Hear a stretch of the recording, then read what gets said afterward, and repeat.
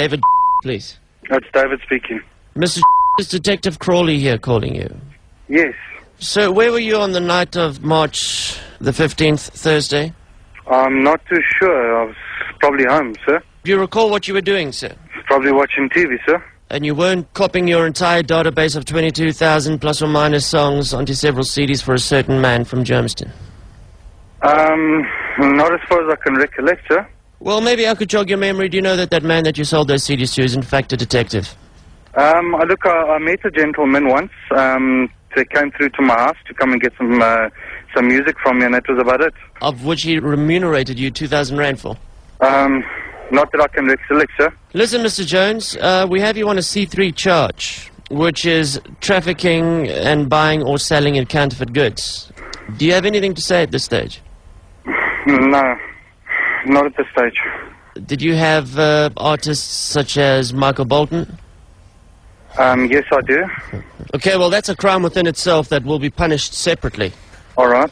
Do you know what the fine is per song copied? No, I don't. Look, sir, let me explain to you quickly. Mr. Jones, let me put you in the yeah. picture here. What, what, what's going to happen to me now? I Uh, mean, I didn't, I don't do this. It's not a. Okay, look, there is a fine for 1,000 Rand per song. And uh, of 22 songs, I, I don't know how good your maths is, but that would be 22 million Rand. Now, unless you won the lotto recently, you're not going to be able to pay that fine. no, never. Okay, well, Mr. Well, then you're looking at 25 to life in a correctional facility. Oh, no, man. Oh, Okay, listen, Mr. Jones, listen here to me. I'm listening. Okay, this is why I called you. We don't want you, we want the big chief. The big chief. The big chief. Now tell me, we have reason to believe that the fake syndicate operating out of Cyrildene.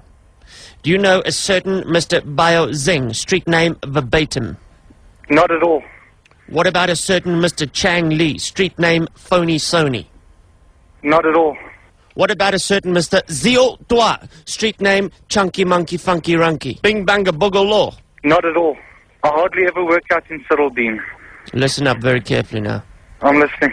I just want to find out one thing. Yes. Just uh, on a side note, if you could just help me out. Okay. Do you know who sings this song? Looks like we made it. Do you know that song? How far we've come, my baby. Do you have any idea who that is? Um. Um. Uh, Shania Twain. That's it. That's it. They played it on the radio, and I didn't hear who it was. Um, uh, uh, have you got that song? Yes, I'm sure I got that one. I've got a lot of Shania Twain songs. My sister's getting married this weekend, and she wants that for her first dance. So could you please, like, make a copy of that for me, please? she told me I'm going to pay fine, and now you, you want, want me to make a CD. Uh, well, I won't tell anybody. No, you can't do that. Is this Whackhead Simpson? Are you doing it Whackhead, my brother? How's it, man? Who finds you my wife? No, it was Selwyn and uh, Charles from your work. hey, Whackhead. Tana, I've got to meet you. I've... Look, I got to tell you something. I've pirated your series as well. Both of them except for the new one. there is the second emotion, made Oh, someone cry. Talk about underpants change. Fantastic. Thank you.